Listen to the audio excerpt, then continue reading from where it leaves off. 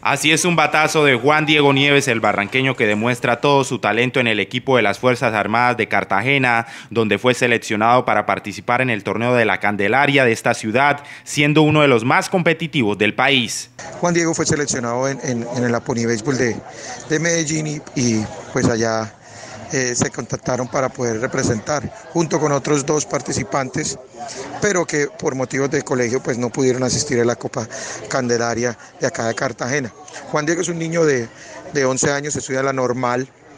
Desgraciadamente los, los jugadores eh, eh, santanderianos, especialmente Barranca, pues no tienen ninguna herencia en campeonatos nacionales porque la Liga de Béisbol de Santander, que tiene sede en Barranca Bermeja, pues es totalmente de, papel.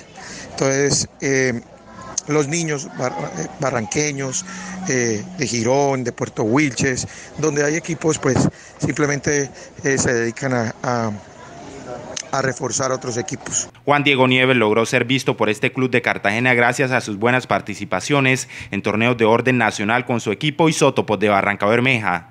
El, comportamiento de, Juan Diego ha sido eh, bueno, pues no hay excelente porque en la categoría de ellos nunca es excelente, pero, pero, pero está dejando en, alto las, las eh, toda la gente santanderiana, toda la gente del béisbol de Barranca Bermeja.